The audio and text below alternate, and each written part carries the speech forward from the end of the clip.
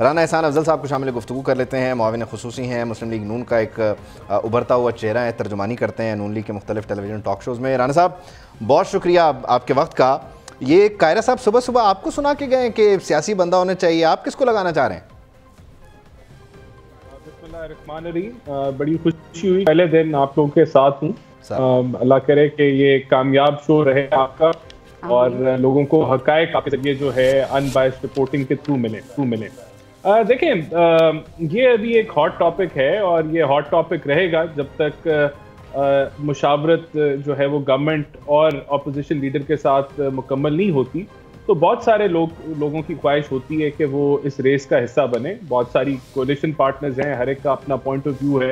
हर कोई अपने नाम लेके आ रहा है। तो डेफिनेटली जो कायरा साहब ने बात की है उसको मैं भी इंडोर्स करता हूँ कि ये सियासी पोजीशन पे ऐसे ही लोग होने चाहिए जो सारों को काबिल कबूल हो। हम्म। सियासी हो तो बेहतर है।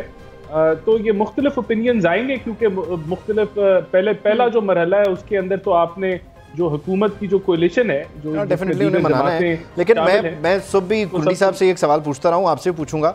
आपकी अपनी राय होगी आपकी अपनी फरमाइश होगी पीपल्स पार्टी ने अपनी फरमाइश का इजहार कर दिया। वो कोई तीसरा फरीक कहीं से आवाज़ लगाता है कि नहीं बस ये देख लो।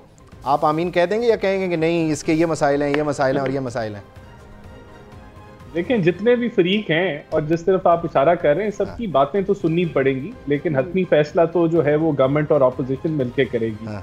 आ, तो आप सही कह रहे हैं फिर आप कह दें कि आप इकोनॉमिक एक्सपर्ट को लगा रहे हैं मान जाए नहीं इस अभी हतमी ऐसा फैसला नहीं हुआ हाँ। ये एक डिबेट है कि आईएमएफ का जो है वो स्टैंड बाय एग्रीमेंट है तो इस वक्त बड़ा ज़रूरी है कि ऐसा केयर टेकर सेटअप आए जो कि इकोनॉमिक एक्सपर्ट का हो इस चीज़ को भी इंश्योर किया हम्म। जाएगा कि इस तरह की समझ बूझ रखने वाला ही सेटअप आए और वो जो जमहूरी कूदते हैं वो ये केपेबल हैं कि वो ऐसी सिलेक्शन कर सके।